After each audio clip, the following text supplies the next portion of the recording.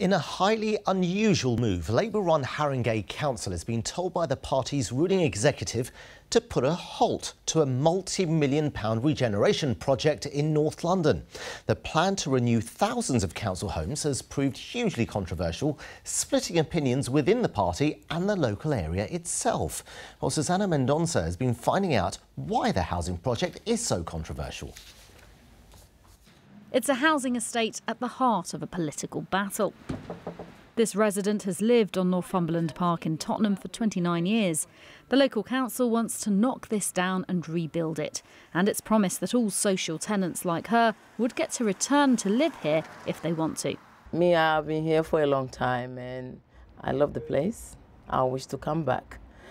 But we asked, I asked about the rent and they said the rent is going to be the same. But all of this, I'm wondering how true is going to be. This is one of the areas in this North London borough that would be included in the so called Haringey Development Vehicle, or HDV. That's a 50 50 partnership between the council and a private developer. Haringey Council says this plan is all about regenerating inadequate estates and building much needed new homes. More than 6,000 of them, 40% of which they say would be affordable. But it's been met with huge opposition, not least because of the council's choice of business partner.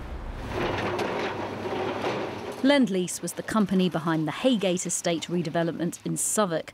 Once home to more than a thousand socially rented properties, the development that replaced it now has less than a hundred of them, which is part of the opposition's case against Haringey Council's proposal. This is not a rejection of the ambition behind the HDV.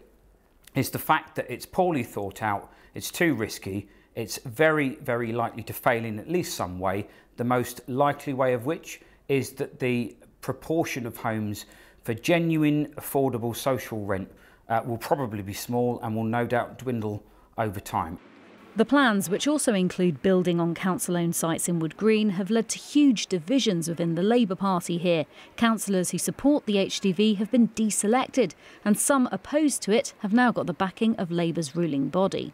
Well, we've now got the Labour Party's National Executive Committee effectively telling a Labour council what to do um, over a specific policy, which is in itself like quite extraordinary. Um, and I'm thinking, uh, you know, where does this kind of where does this end? So where do what what happens the next time a campaign group who's now part of the Labour Party, um, you know, isn't happy with something that a Labour council leader is doing? With protests and pressure continuing to mount, the future of this development remains unclear. Susana Mendonça, BBC London News, Haringey.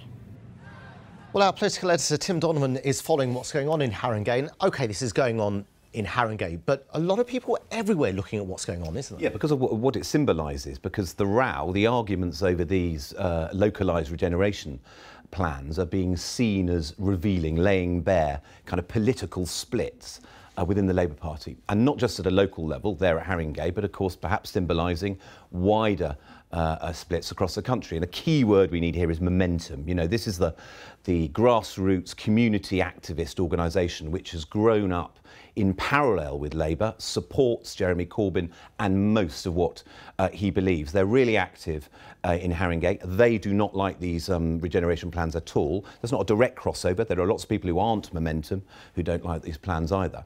But the significant political thing is that they are held to have caused up to 20 existing Labour councillors either to be deselected or to stand down voluntarily. They can't bear, they don't want to stand again in May's elections. So with so many eyes on what's going on in Haringey, where do we think this is all going? Well, the leader, Claire Kober, is, is almost certain to be to have to have a, a, a you know, an emergency meeting with uh, the NEC of the Labour Party. They've sent in a senior MP to try and mediate, see if you can bring these two factions uh, together. They're waiting for uh, the outcome of a judicial review, which means that Claire Kober, the leader, can't quite press the button on this um, on these plans at the moment. But it's quite that after May's elections, there will be a momentum, uh, a heavy uh, left administration in Haringey and with a majority, and it's quite likely in those circumstances they'll just pull the plug on this. Yeah, this is one of those stories where even if you're not into politics, it's an interesting one. Tim, thanks very much uh, for that.